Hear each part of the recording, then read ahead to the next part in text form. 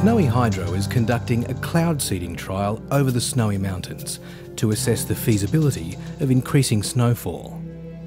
A network of 23 generator sites along the western side of the mountain range burn minute amounts of silver iodide solution to create artificial ice forming particles, which are swept up into the passing clouds.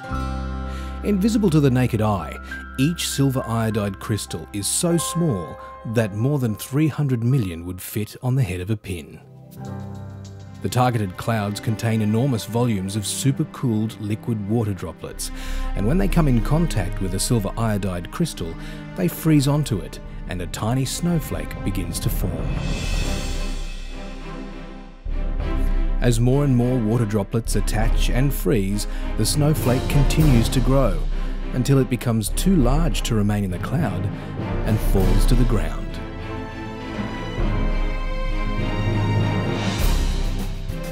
Snowy Hydro is working with nature to enhance snowfalls over the mountains.